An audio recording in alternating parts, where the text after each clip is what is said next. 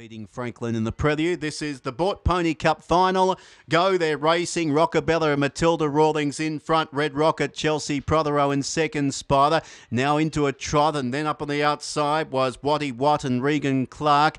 Uh, out deeper off the track, Black Pete and Sean O'Sullivan. Downtown, Taylor Markham is close up as they head up towards the home turn. Foxy Loxy, Alicia Wills back second last, and Franklin uh, and Brock Gibson uh, is chasing hard at the back. They turn for home. Good line of them here in the front straight. Rockabella, Red Rocket on the outside. Black Pete downtown out wider. Uh, Foxy Loxy, then Watty Watt, and now Brock Gibson takes Franklin to the outside. He's powering home this time, Franklin. I think he's got them covered. Here's the back marker. Franklin and Brock Gibson are dashing away from Foxy Loxy. Black Pete out wide, but Brock Gibson and Franklin take out the Boort Pony Cup easily. Second, we'll give it to Foxy Loxy. Alicia Wills just in front of Black Pete and Sean O'Sullivan.